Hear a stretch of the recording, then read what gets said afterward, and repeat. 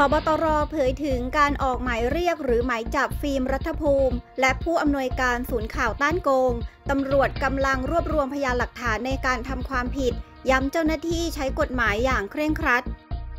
ประธานชมรมสันติประชาธรรมเผยถึงนักตบทรัพย์ชาย นอกจากประเด็น 20 ล้านบาท ยังมี 60 ล้านบาท และมีพฤติกรรมหลอกคนอีกหลายรายมานาน หนึ่งในนั้นสูญเงินกว่า 100 ล้านบาท เชื่อเชื่อมโยงหลายกรณี เช่น แชร์ลูกโซ่หรือขายตรง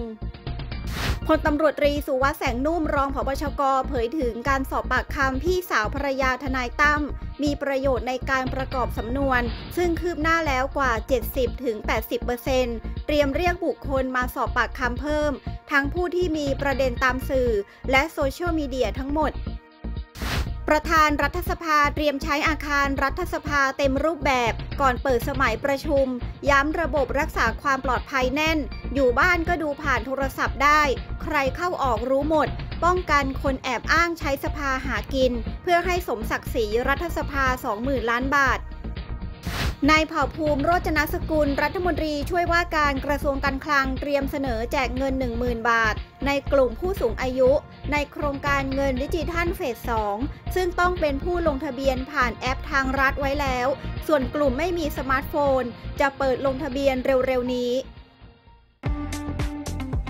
สถานีข่าวนิวส์วันขอแจ้งเปลี่ยนช่องทางการออกอากาศผ่านระบบ IPTV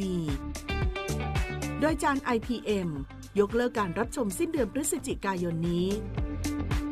จาน PSI ยกเลิกการรับชมสิ้นเดือนมกราคม